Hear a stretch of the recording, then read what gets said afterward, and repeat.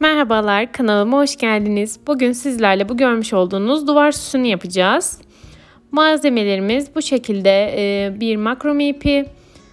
Ben 3 mm kalınlığında kullandım. Siz 4 mm'de kullanabilirsiniz ama e, biraz daha fazla uzunlukta kesmeniz gerekiyor vereceğim ölçülerden. E, çubuğum var bu şekilde. E, makas ve mezuram var. Çubuğumu bu şekilde duvara sabitledim iple kenarlarından bağlayarak. İplerimi de kestim hazırladım ben. 6 adet 100 santim uzunluğunda ip. 6 adet de 120 santim uzunluğunda ip. 120 santim uzunluğunda olan iplerimizi bu şekilde ikiye katlıyorum. Çubuğumun orta kısmına sabitliyorum bu şekilde. Üstten geçiriyorum. Alttan kalın ip alıp çıkıyorum ve sabitliyorum bu şekilde.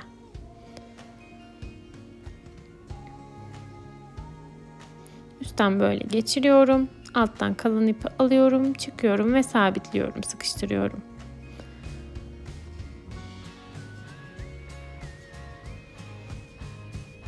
Altı tane ipimiz 120 santim uzunluğunda en orta kısma bu şekilde sabitleyip bitiriyoruz.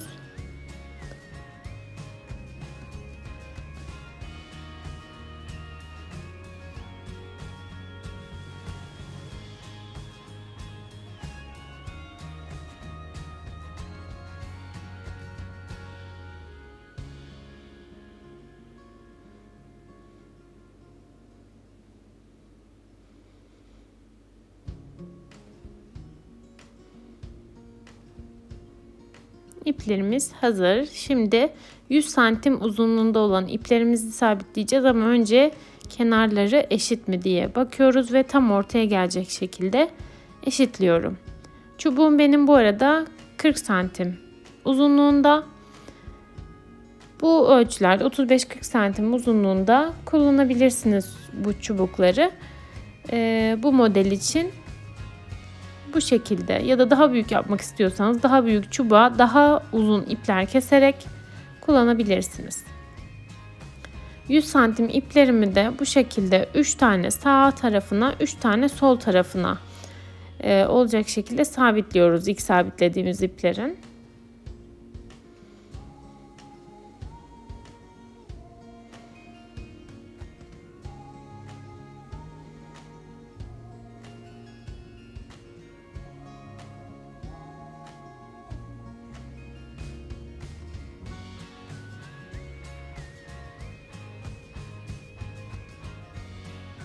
Arada videomu beğenip kanalıma abone olmayı unutmayın. İplerimiz hazır. Orta motiften başlıyoruz örmeye. Daha sonra kenar kısımdaki motifleri yapacağız. İlk 4 ipimi alıyorum. En sağdaki ip üstte kalıyor. Soldaki ip de bu şekilde o diğer ipin üstünden alt tarafa geçirip içinde oluşan boşluktan çıkarıyoruz. Aynı işlemi sol tarafa yapıyoruz. Soldaki ip üstte duruyor. Sağdaki ipi alttan içinden geçirip sıkıştırıyoruz. Tüm iplerimiz için aynı işlemi uyguluyoruz bu sırada. Bir sağdan bir soldan olacak şekilde kare düğümümüzü atmış oluyoruz.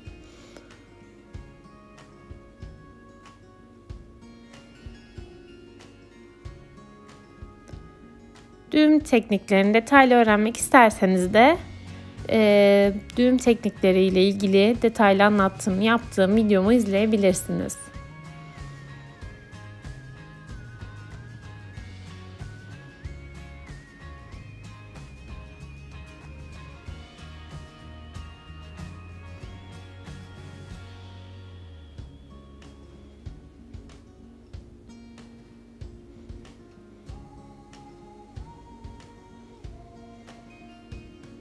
İlk sıramız bu şekilde bitti. İkinci sıramıza geçiyoruz. İkinci sıramızda da baştan iki ip boşta kalıyor. E, iki düğüm arasında kalan dört iple aynı kare düğümü oluşturuyoruz. Bu sırayı bu şekilde de tamamlıyoruz.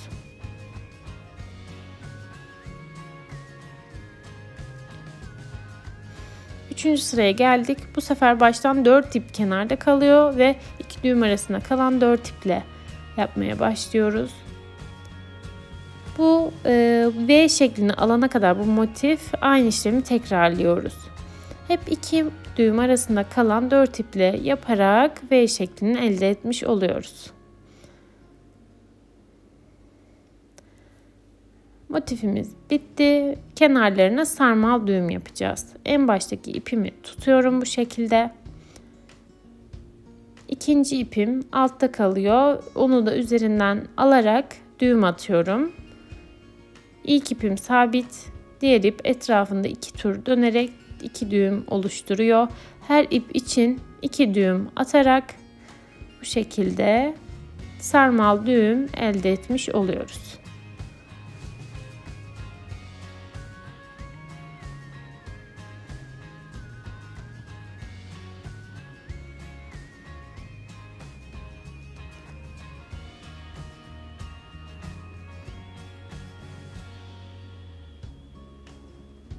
Şekilde tüm ipler için iki düğüm atarak en uca kadar geliyoruz. Aynı işlemi bir de sağ tarafa yapıyoruz. Yine en baştaki ip sabit, diğer ipler etrafında iki tür dönerek düğüm oluşturuyor.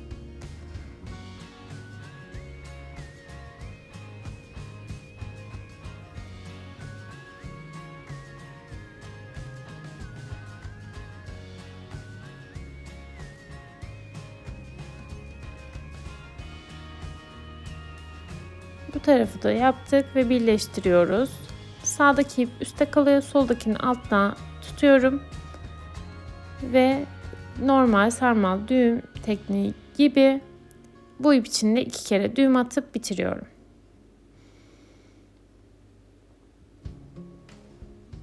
Şimdi kenarlardaki motiflere geçiyoruz. Bu arada sıradaki videomuzun konusu ne olsun yazabilirsiniz yorumlar kısmına. 5 tane sağ tarafa 5 tane sol tarafa e, ip sabitliyorum. Bu iplerin uzunluğu da 2 metre. Her ip 2 metre. Onları ikiye katlayarak başlangıç sabitleme düğümünden yapıyoruz ve sabitliyoruz. En ortadaki ipi tutuyorum. Yani baştan 5. ip tutuyorum ve e, sola doğru salmal düğüm yapıyorum diğer kalan yan, yanındaki iplerle. Ters üçgen şeklini alacak.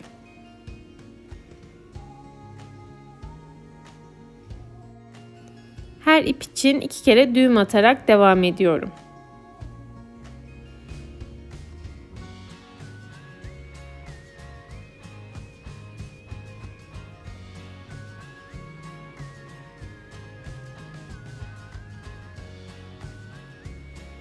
Aynı işlemi şimdi de sağ taraf için uyguluyorum.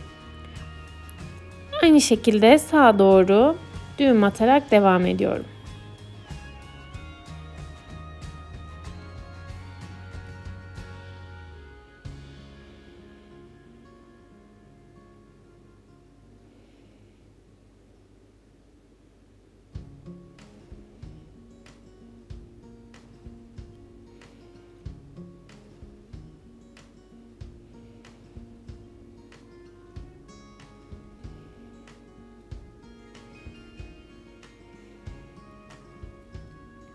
Şimdi e, alt tarafı V şeklinde yapacağız. Aynı yukarıda yaptığımızın tam tersini yapacağız. Yine en baştaki ipimiz sabit.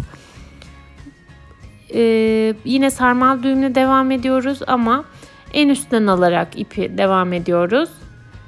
En baştaki iple iki tane düğüm atarak sarmal düğümümüze devam ediyoruz. Ee, daha sonra ikinci sıradaki ipimizi alıyoruz. Onunla sarmal düğüm yapıyoruz. Bu böyle devam ediyor. İlk birinci ip en baştan birinci iple atıyoruz. Sonra ikinci, sonra üçüncü, sonra dördüncü iple atıyoruz ve e, bu e, görüntüyü tamamlamış oluyoruz.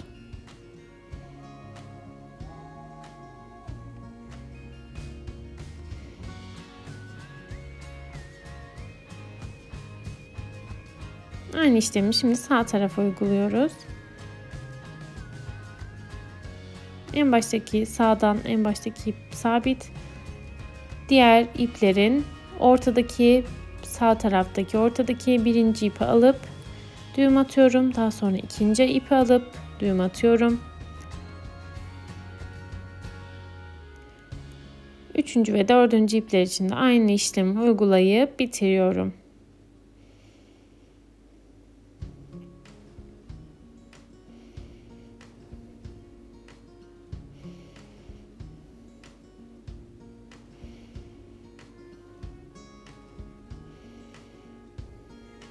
Şimdi ortasını birleştiriyorum.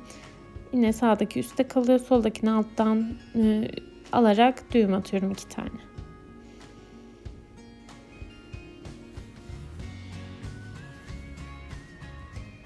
Bu motiften 5 tane alt alta yapıyorum.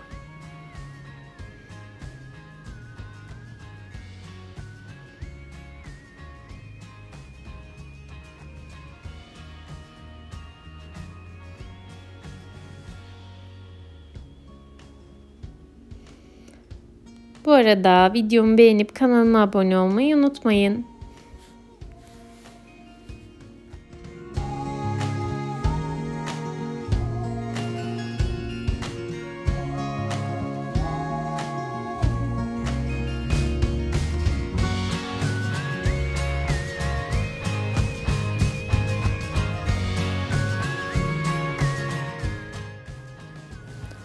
Aynı işlemi sağ tarafa da uyguluyorum.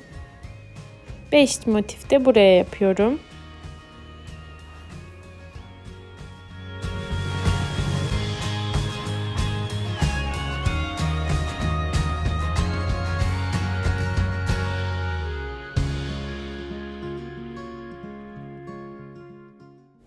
İki tarafta bitti. Şimdi birleştirme kısmına geçiyorum. Bu şekilde e, alt tarafı e, tek taraflı olarak e, uzattım.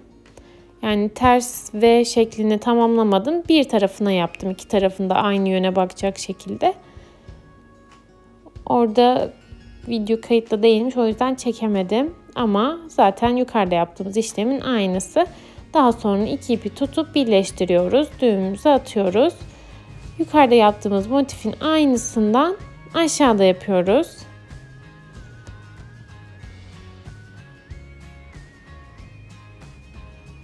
4 iple ama hepsiyle değil 4 iple yukarıdaki gibi 4 sağdan 4 solda iple yapıyoruz bunu.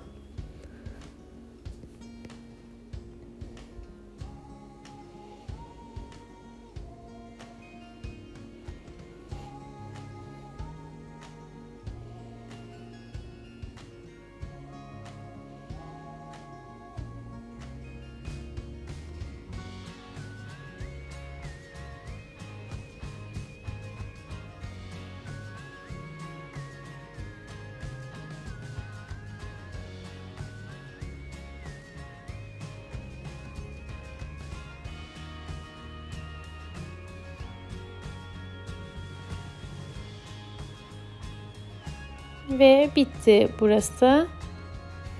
Şimdi püsküllerini ekleyeceğim.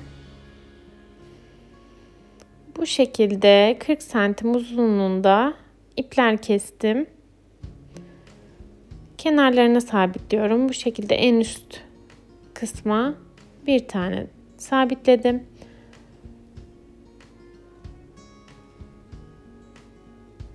Buraya 3 tane sabitliyorum.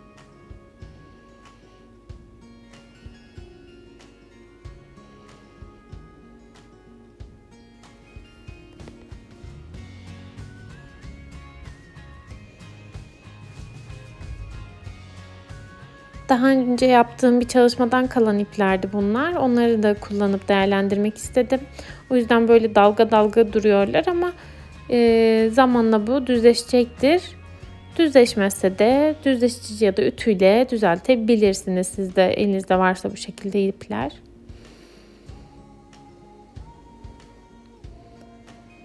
Püsküllerimiz tamamlandı. Şimdi orta kısmına bir tane püskül yapacağım. Şekilde 4-5 tane e, ipi alıyorum. Bu motifin en büyük halkasını böyle dıştan içe doğru geçiriyorum. Kalan kısmı da yine öbür tarafın yani sol tarafın e, büyük e, kısmıyla kısmından dıştan içe doğru geçiriyorum. Ve bu şekilde ortaya sabitlemiş oluyorum e, düğümümüzü, püskülümüzü.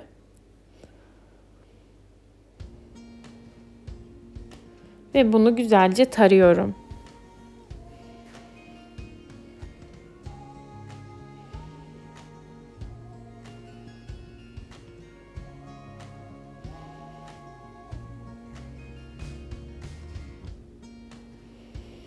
Püsküllerin eşit olmayan kısımları da makasla bu şekilde düzeltiyorum. Ve bitti. Bu şekilde minik bir duvar süsümüz oldu. Umarım videomu beğenmişsinizdir. Beğendiyseniz beğen butonuna tıklamayı ve kanalıma abone olmayı unutmayın. Hoşçakalın.